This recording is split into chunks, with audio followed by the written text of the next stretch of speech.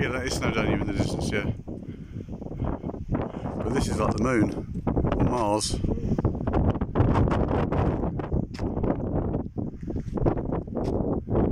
Yeah, that's definitely the power station, so